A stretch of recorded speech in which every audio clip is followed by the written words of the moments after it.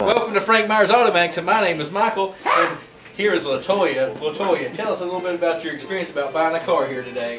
Um, I bought the car that I wanted. It wasn't the, one, it wasn't the car you wanted to put me in, it was the car I wanted. Now, tell, uh, I couldn't have done this without little E. I mean, I mean, little Stephen, Little Stephen? or Travis. Not Travis. Not Travis. Not Travis. But Latoya here, she said had a great time today, and she really challenged me to get her exactly what she wanted. And she did. welcome her to the family with the ringing of the gong.